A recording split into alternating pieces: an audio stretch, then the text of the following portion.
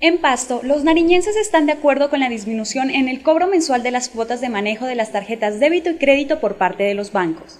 Según los consultados por Telenoticias, aunque esta es una propuesta que será presentada ante el Congreso de la República, ellos dicen que esta iniciativa puede contribuir a mejorar la economía de los hogares nariñenses, la cual se ve bastante afectada por los altos costos que la banca realiza cada mes. Otros dicen que si se rebaja el cobro mensual, esto puede contribuir al incremento de las transacciones electrónicas, garantizando una mayor seguridad en los pagos, reduciendo el manejo de efectivo y mejorando el control de los gastos. Pues que sí. ¿Por qué?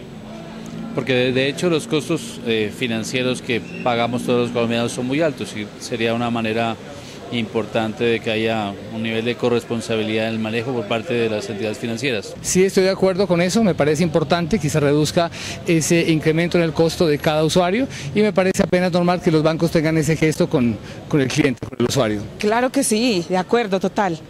Es muy bueno que disminuyan las cuotas de, de, manejo porque así tendrían muchos más clientes, porque así habría la facilidad de nosotros ir a dejar la platica allí para que no la guarden y no, pues sería genial, de verdad que sí. Los pastuzos asocian el bajo uso de las tarjetas débito y crédito debido a las altas cuotas que mensualmente tienen que pagar por el servicio. Reducir el pago mensual serviría de incentivo para el uso de pagos electrónicos, además de contribuir en la economía de los nariñenses. Sí, lógico, porque está muy alto. Sí, estoy de acuerdo que lo disminuyan y lo bajen y den más opción a la gente, ¿no? Para poder hacer los créditos.